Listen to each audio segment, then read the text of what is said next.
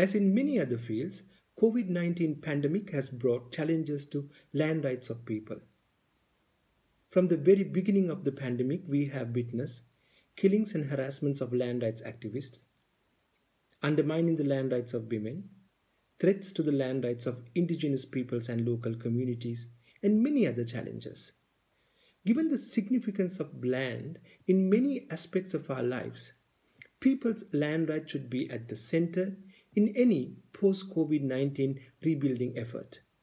Join our session at the LANDIC 2021 conference, Reimagining Our Future, Building Back Better through Progressive Land Policies and Practices.